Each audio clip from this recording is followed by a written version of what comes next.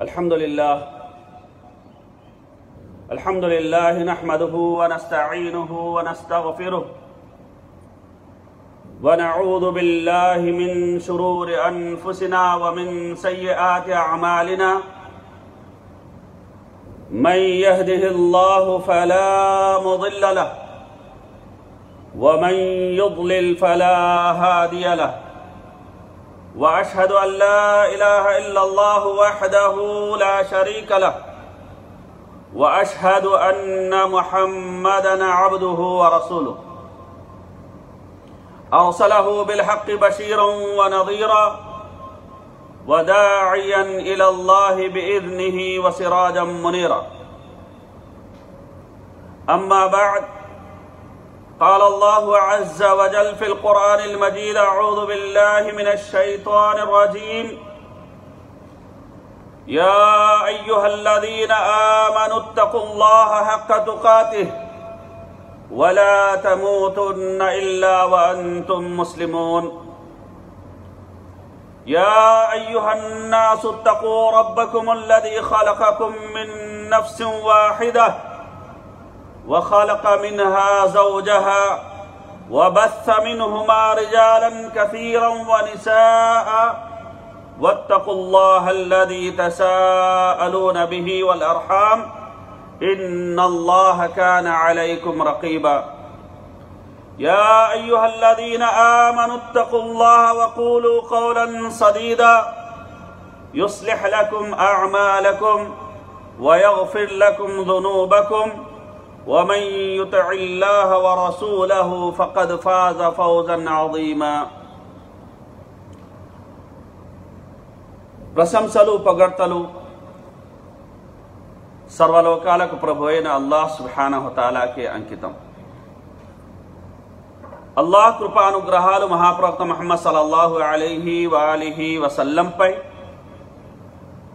ఆయనకు పూర్వం గతించిన ప్రవక్తలందరిపై సత్యాన్వేషకులపై కలకాలం కురియుగాక.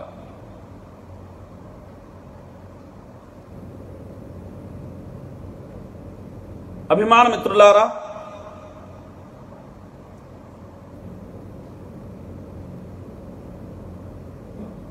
మానుకో వ్యసనాన్ని కాపాడుకో కుటుంబాన్ని అన్న అంశం మీద మనం మాట్లాడుకోబోతున్నాం. అభిమాన మిత్రులారా ఉలితో శిల్పాలు అక్షరాలతో సాహిత్యం రంగులతో చిత్రలేఖనం ఇవన్నీ శ్రద్ధగా ప్రేమతో చేసే కార్యాలు. పని అది ఏదైనా సరే ఎంత సాధారణమైన పనైనా సరే త్రీకరణ శుద్ధితో ప్రేమతో శ్రద్ధతో మనం చేసినప్పుడు అది ఓ గొప్ప కళాఖండం అవుతుంది ఓ గొప్ప చరిత్ర అవుతుంది.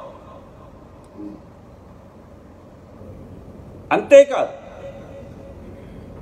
చూపరుల్ని సైతం అది ఇట్టే ఆకర్షిస్తుంది చరిత్రలో చిరస్థాయిగా అది మిగిలిపోతుంది కూడా.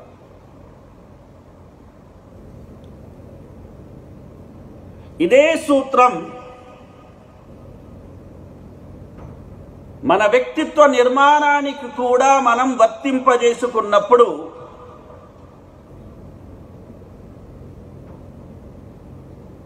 మనకు వెన్నుముక వ్యక్తి వ్యక్తిత్వం అనేది ప్రాప్తమవ్వడమే కాకుండా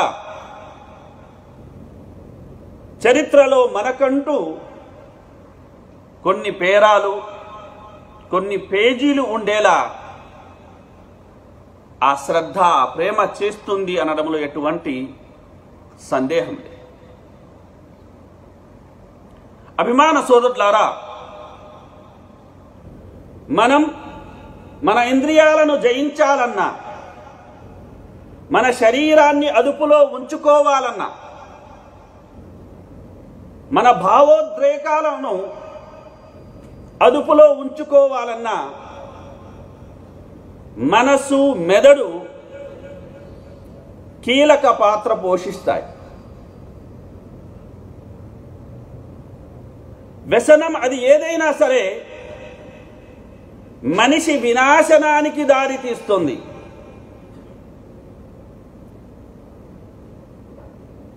అక్రమార్జన ఆశయంగా పెట్టుకున్న వ్యక్తి అడ్డదారులు తొక్కుతాడు నేరాలు చేస్తాడు.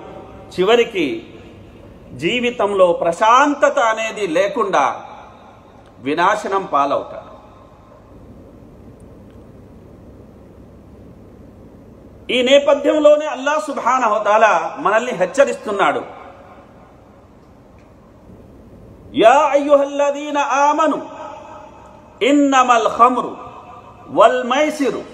వల్ అన్సాబు వల్ అజ్లాము రిజుసుం మిన్ అమలి షైతాన్ ఫజ్తనిబూహు లఅల్లకుం తుఫ్లిహున్. జూదము గాని మద్యపానము గాని మగువ లోలత్వం గాని దేశ దిమ్మరితనం గాని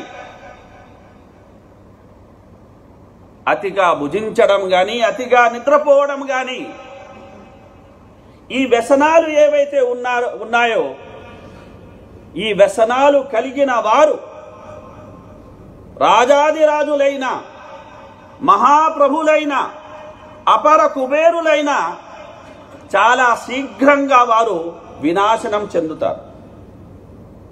అభిమాన మిత్రులారా వ్యసనం అనేది ఎప్పుడు ఏ ఒక్కరికి మేలు అనేది చేయజాలదు.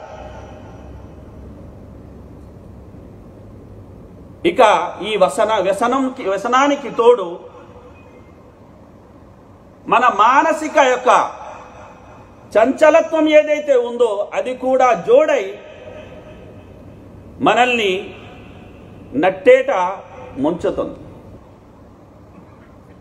కాబట్టి అభిమాన మిత్రులారా మనిషిని ఇటు ఆధ్యాత్మికంగాను అటు ఆర్థికంగాను సాంఘికంగాను పరువు ప్రతిష్టల రీత్యాను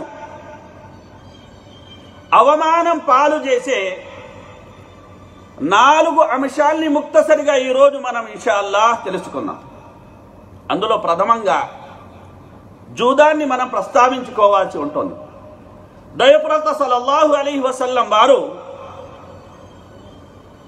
సంతలో కొనే అశ్వాల్ని గుర్రాల్ని మూడుగా విభజించడం జరిగింది. అల్లాహ్ మార్గంలో అంకితం చెయ్యడానికి కొనే గుర్రం. ఆ గుర్రాన్ని కొనడం కూడా పుణ్యకార్యమే దాని మీద సారీ చేయడం కూడా పుణ్యకార్యమే దానికి ఇతరులకు రెంట్కి ఇవ్వడం కూడా పుణ్యకార్యమే.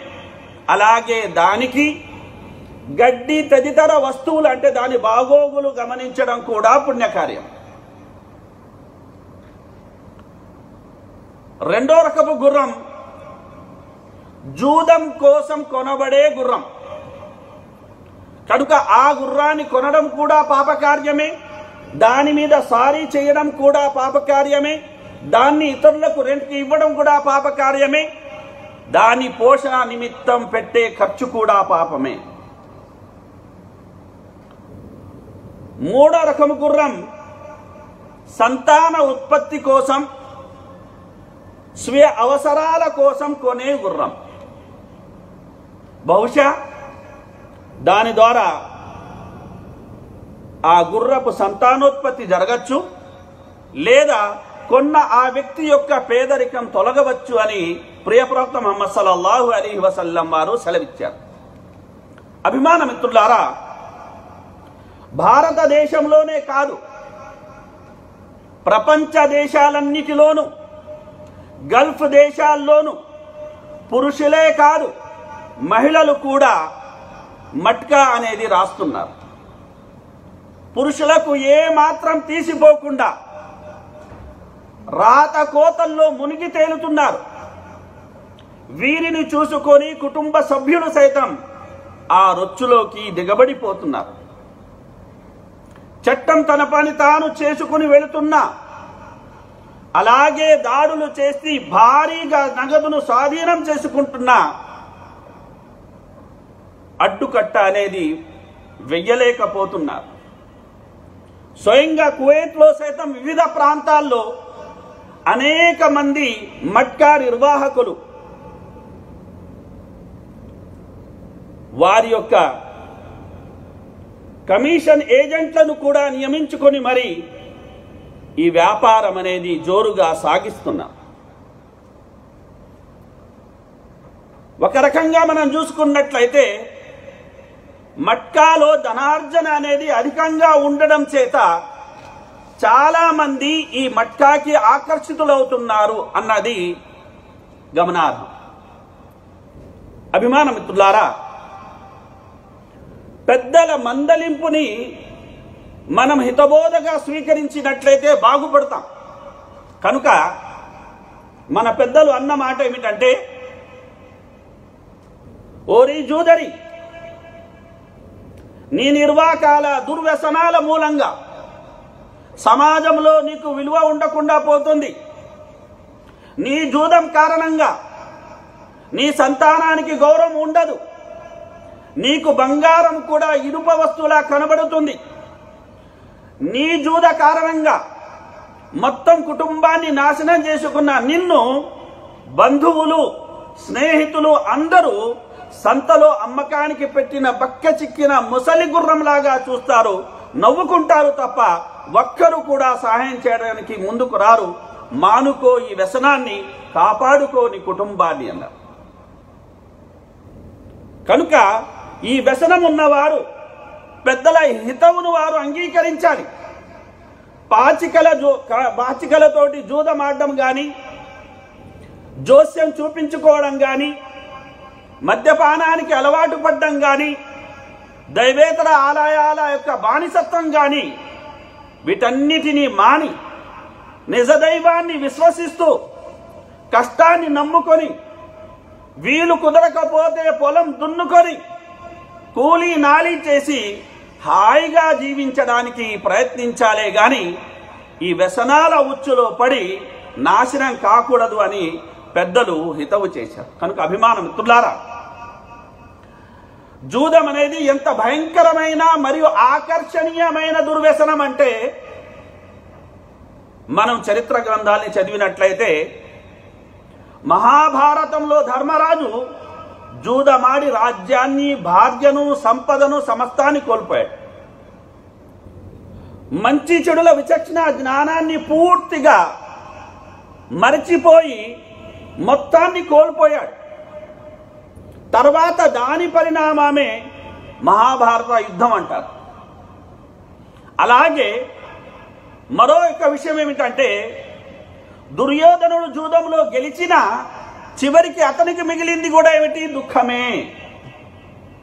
అలాగే నల చక్రవర్తి అంతటి ఒక గొప్ప వ్యక్తి సైతం జూదం వల్ల ఎన్నో కష్టాలు అనుభవించాల్సి వచ్చింది. కనుక అభిమాన మిత్రులారా జూదం అనేది ఒక్కసారి ఇది అలవాటైంది అయిందంటే మన బతుకుని గుల్ల చెయ్యకుండా వదలదు. ఎంతో మంది దీనికి బానిసలై వారి ఆస్తులను పరపతిని పోగొట్టుకున్నారు. అదేవిధంగా ఈరోజు మనం తీసుకున్నట్లయితే ఈ జూదం అనేది కూడా డిజిటల్ అయిపోయింది. ముఖ్యంగా అభిమాన సోదరులారా కరోనా కాలంలో మనిషి ఇంటి పట్టునే ఉన్నాడు గనుక ఆన్లైన్ గేమింగ్కి ఎంత అతను అలవాటు పడ్డాడో ఆన్లైన్ బెట్టింగ్కి కూడా అంతే అలవాటు పడ్డాడు. కనుక ఇక్కడ ప్రోగ్రామింగ్ అనేది మొత్తం సెట్ చేయబడి ఉంటుంది ఇది గమనించండి. ఏదో మనం తెలివితేటలు కలిగిన వాళ్ళము గొప్ప వాళ్ళం అనుకోకండి. ప్రోగ్రామింగ్ ఉంటుంది ఆ ప్రోగ్రాం ప్రకారమే అది నడుస్తుంది. కనుక అభిమాన మిత్రులారా ప్రారంభంలో మనం గెలుస్తున్నట్టు మనకు లాభాలు వస్తున్నట్టుగా చూపించే ఈ యొక్క బెట్టింగ్ గేమ్స్ ఏవైతే ఉంటాయో అంతిమంగా ఆర్థికంగా మనల్ని దివాలా తీస్తాయనడంలో ఎటువంటి సందేహం లేదు.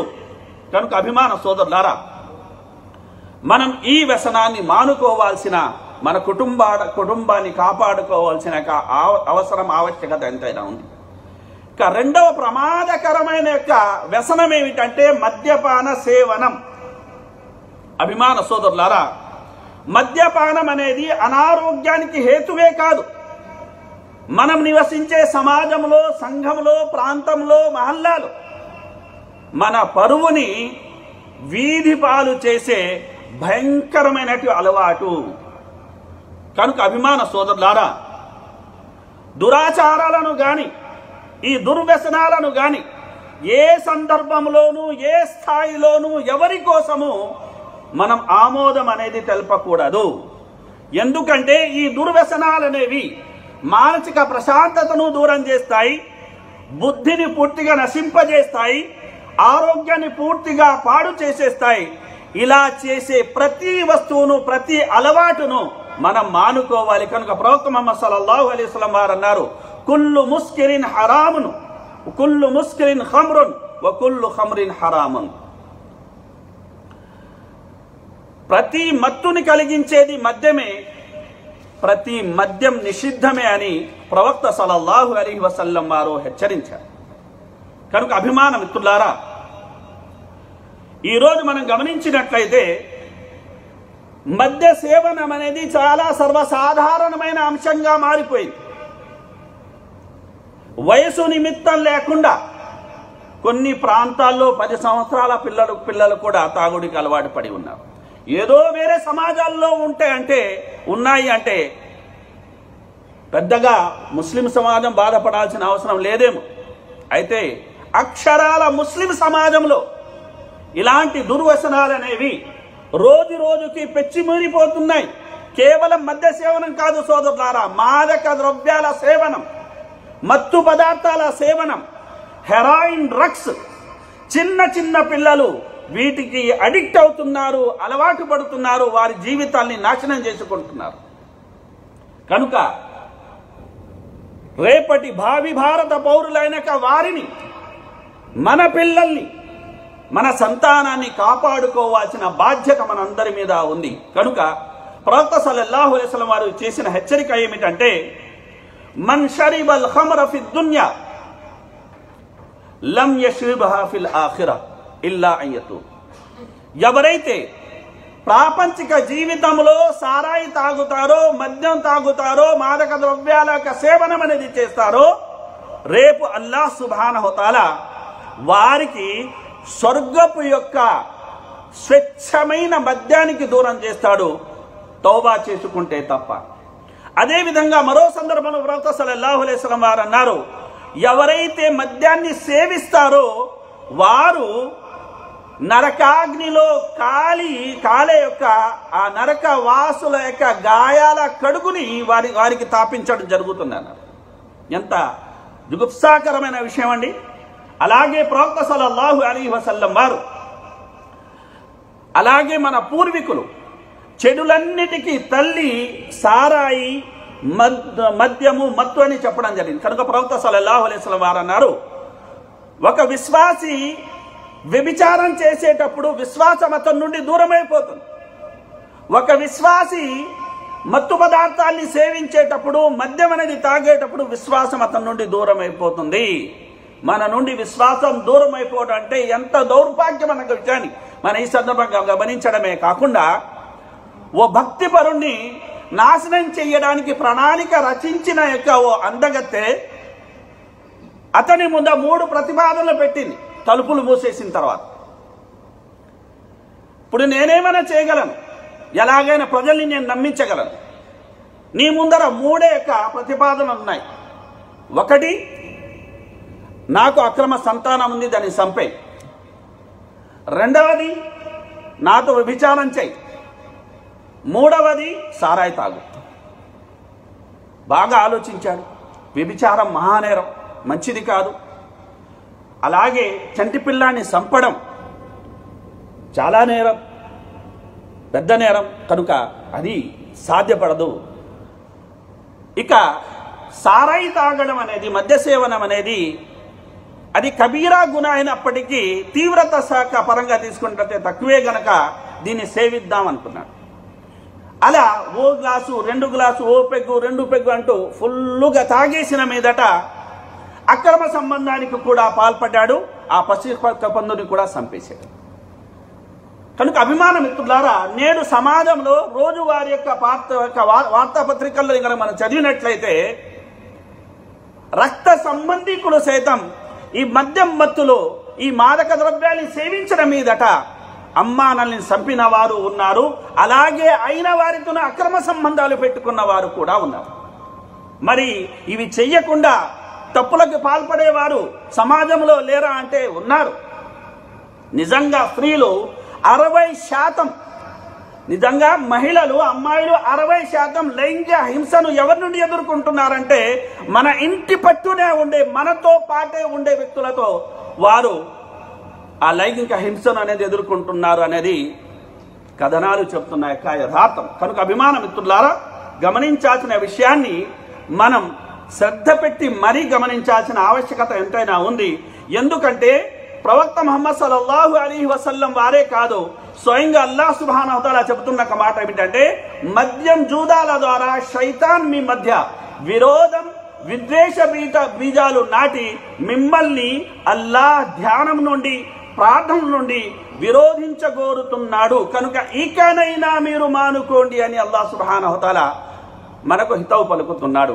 కనుక అభిమాన మిత్రులారా అంతిమంగా దైవేతర ఆలయాలు కానీ పాచికల జోస్యం కానీ మద్య సేవనం కానీ అలాగే జూదం కానీ వీటన్నిటిని ఎలా నిర్మూలించాలి? నిజంగా మానవ చరిత్రను గమనించినట్లయితే జూదానికి వ్యతిరేకంగా కోట్లు ఖర్చు పెట్టి పుస్తకాలు రాసిన సందర్భాలు ఉన్నాయి. అలాగే మద్యానికి వ్యతిరేకంగా మీరు చూసుకున్నట్లయితే స్వయంగా అమెరికా కొన్ని కోట్ల డాలర్ని ఖర్చు చేసి పద్నాలుగు సంవత్సరాల వరకు లిటరేచర్ని ప్రింట్ చేయడం జరిగింది. అయితే సంపూర్ణ మద్య నిషేధం అనేది వారు ఎవరు చేయలేకపోయారు. సంపూర్ణ జూద నిషేధం అనేది ఎవరు చేయలేకపోయారు. అయితే పద్నాలుగు వందల సంవత్సరాల క్రితం ప్రియప్రవక్త ముహమ్మద్ సల్లల్లాహు అలైహి వసల్లం కూలు లా ఇలాహ ఇల్లల్లాహ్ తుఫ్లిహు అన్న తౌహీద్ నినాదం తోటి అల్లాహెడల విశ్వాసాన్ని ప్రజల హృదయాలు నింపి తద్వారా అనేది ఈ అనైతిక చర్యల్ని వారు ఇట్టే వదిలేసేలా తర్ఫీదు చేసే చేశారు.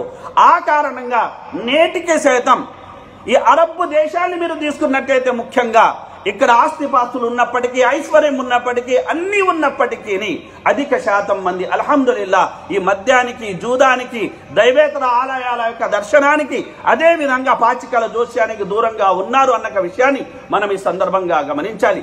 ఏదేమైనప్పటికీ అభిమాన మిత్రులారా మనం ఈ ప్రమాదాన్ని పసిగట్టాల్సిన అవసరం ఉంది. మనల్ని ఆర్థికంగా వినాశనం పాలు చేసే ఆధ్యాత్మికంగా దివాలా కోరుగా మార్చే యొక్క ఈ నాలుగు వ్యసనాలు ఏవైతే ఉన్నాయో ఈ నాలుగు వ్యసనాల విషయంలో పెద్దలే కాకుండా పిల్లల విషయంలో కూడా మనం జాగ్రత్త పాటించాల్సిన ఆవశ్యకత ఉంది. మన పాలు ఎవరు పాలవ్వాలి అని నిర్ణయించే యొక్క ఈ అధికారం ఖచ్చితంగా మనకు మనకే ఉంది.